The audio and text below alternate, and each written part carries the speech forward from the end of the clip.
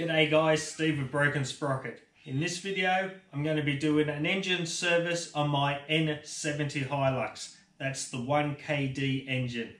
Well, let's get started. Just a disclaimer before we do get started, I actually wasn't going to put this video up because I had a pretty average day on the tools and made a heap of mess all over my car.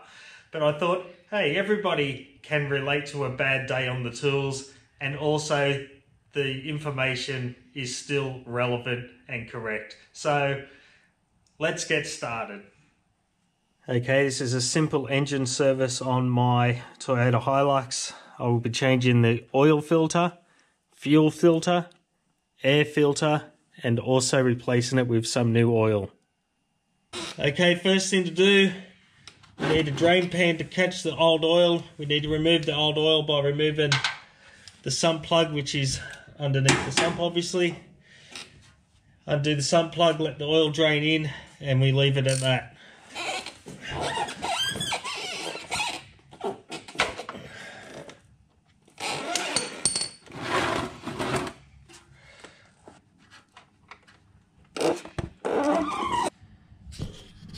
Okay, while that oil's draining, we come back up to the top half of this engine and I'm going to replace the oil filter.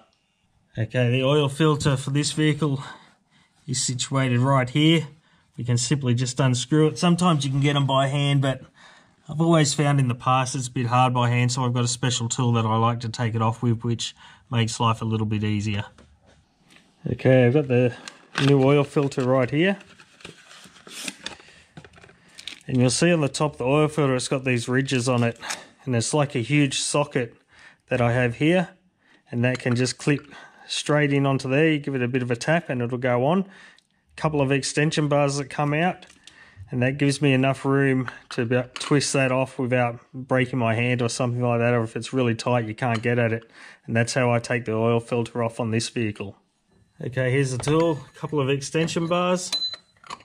Find where it wants to go on give it a tap with a rubber mallet.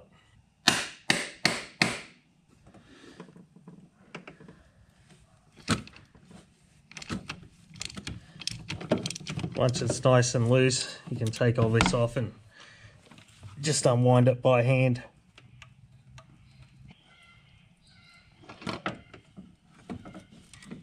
Normally get a bit of oil spilling all over the show. That's not uncommon. Clean rag, wipe out any excess oil. The O-ring has come off that one, so remember to take that out. Okay, with this area cleaned up pretty good, it's ready to install the new filter. Okay, the new filter will have a rubber O-ring around here. You need to put a little bit of clean oil on your finger and just run around the surface of that O-ring. With the oil on that O-ring, we simply just put it back in place. Screw it down nice and snug, but don't over tighten it. And only ever tighten it as much as your hands can tighten it. You don't want a tool to tighten it like we take it off. You just put it in like this and then tighten it up with your fingers. Okay, back under the vehicle now. I've got the old sump plug here. Give it a good clean up with a nice clean rag. Make sure there's no contaminants on it so it'll get the best seal. Also check the seal to make sure it's in good condition. This one here is still good.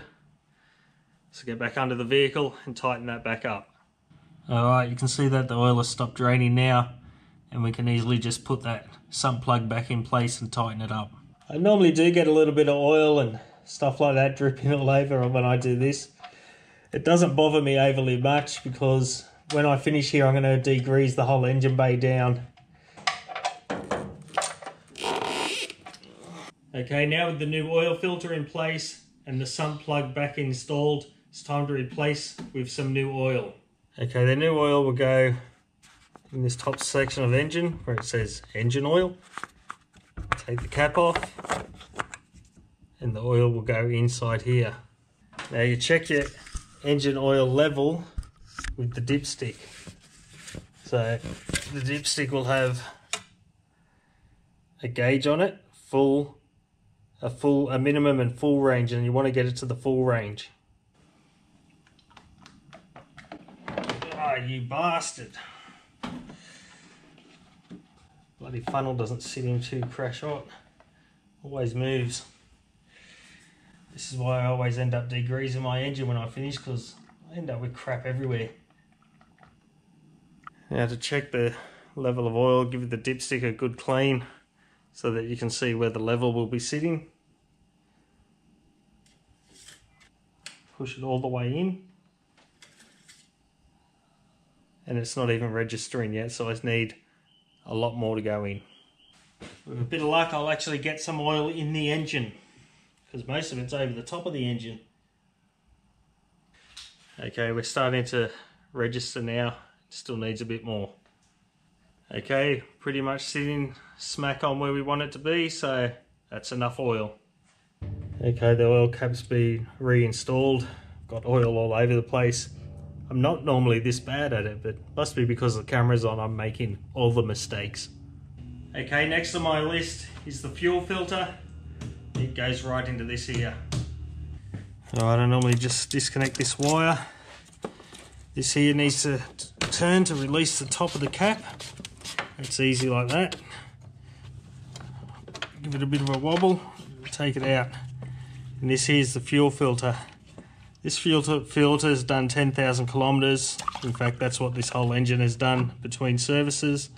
You can see it's fairly dirty-ish, but not terrible. But obviously needs replacing. Inside the canister, you can see lots of diesel. There's also a drain just down here. I don't know if you can see that right there. You unscrew this and you can either make a lot of mess or hook a hose up to it and but I've already got a lot of mess and I'm going to clean it anyway. So I just normally unscrew that let all the diesel flow out to clean up any gunk that is inside this canister. Alright so I just unscrew this here. Diesel's going to fly everywhere but I've already got plenty of mess so let it go. Boom. You see it all drained out of there now I can check inside that canister for any filth or dirt. This one looks pretty good. Okay, so there's not much rubbish or anything like that inside this canister, but I do want to give it a little bit of a flush out whilst that plugs out. How I do that's with some fresh diesel. Fresh diesel comes out of this pump. See? So just put it back on just a little bit, give it a bit of a pump. You'll see that new diesel's coming out of that hole down the bottom there and that just cleans out that canister a bit. That's how I like to do it anyway. And now I know that canister is nice and clean. Okay, the new filter comes with three O-rings. One O-ring goes around this canister. Simply give it a bit of a pinch, take that one off, replace it with the new one.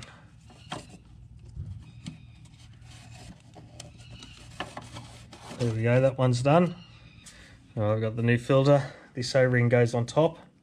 So it goes in like it's like a, a bit of a taper, goes in like this. Squeeze it on, make sure it's in pro properly. So that's in all the way around nice and snug.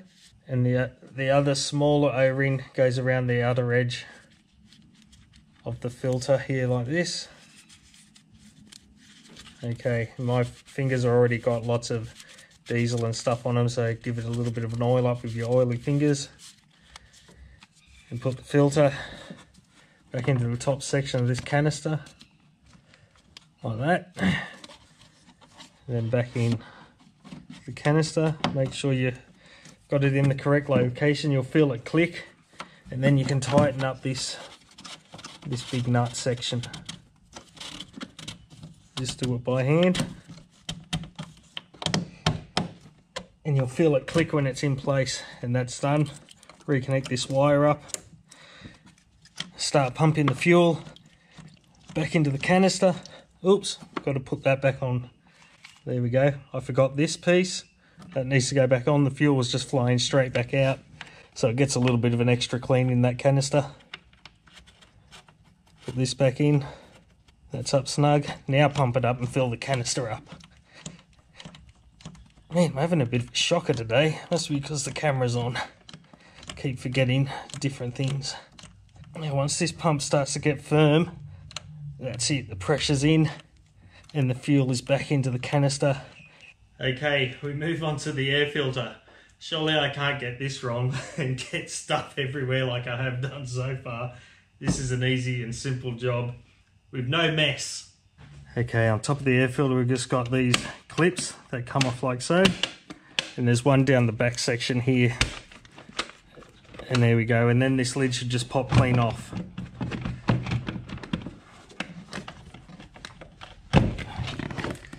Here's the air filter. Done a few dirty roads on this one, but you can see the top seal is still very clean. So that top seal's clean, that's the bit that seals up on it. But you can see the dust has accumulated on here and that's pretty good. So new one goes in because I've done a fair few dirt roads since I last changed this one, so it needs to be replaced.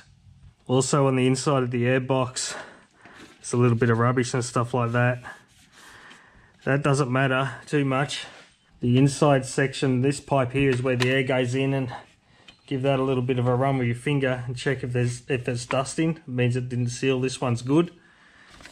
And also in the bottom corner here, just check for leaves and debris. And there's a bit of leaves and debris in there because that there's your drain for water. So that needs to be cleared and cleaned so that water can exit if it, water is to come in.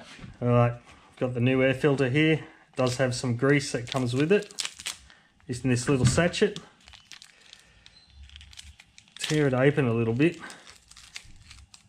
Take it out and just smear it along this top edge. It doesn't need to be real thick, just a little bit and it just helps it seal.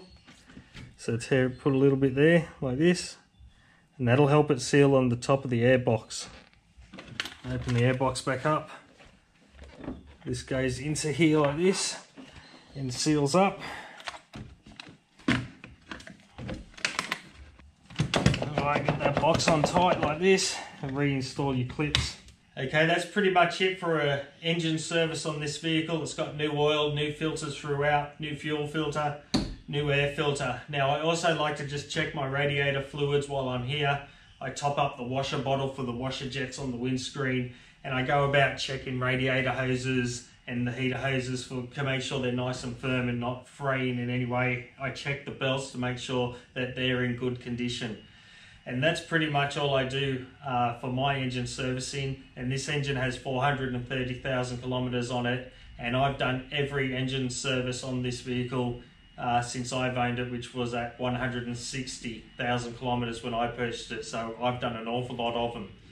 Now I do this every 10,000 kilometers and it just works out just spot on and that's what Toyota recommend every 10,000 kilometers on this particular vehicle. Now, because I've made a hell of a mess everywhere, it's not normally this bad, but you get to see the worst of it. Warts and all, I'm not covering up nothing. I had a bad day. Um, I'm going to give the engine a good degrease down, which is what I do after every service, and then that normally keeps it all pretty good for the next 10,000 kilometers. So thanks for watching.